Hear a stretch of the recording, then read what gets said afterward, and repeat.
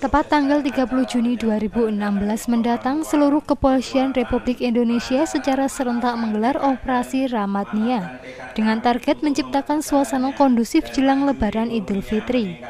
Sementara di Kabupaten Pati sendiri memiliki kebijakan salah satunya penanganan preventif kegaduhan masyarakat yang timbul dari fenomena tawuran antar warga.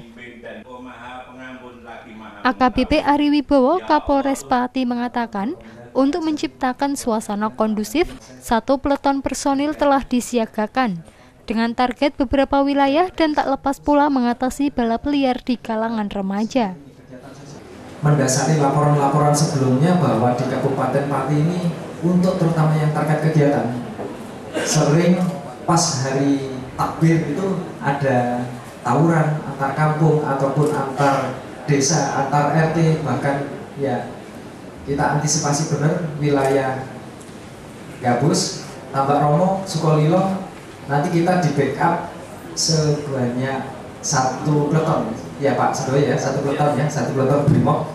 Termasuk e, beberapa sabaran Dalmas. Nanti saya sendiri yang mimpin ke arah Gabus ke arah Sukolilo dan Tambak Romo ini menjadi Kapolres Pati menghimbau masyarakat jangan mudah terprovokasi dengan sentilan oknum tidak bertanggung jawab. Mari wujudkan bersama suasana Hari Raya Idul Fitri yang lebih kondusif. Oksanurajai Simang 5 TV melaporkan.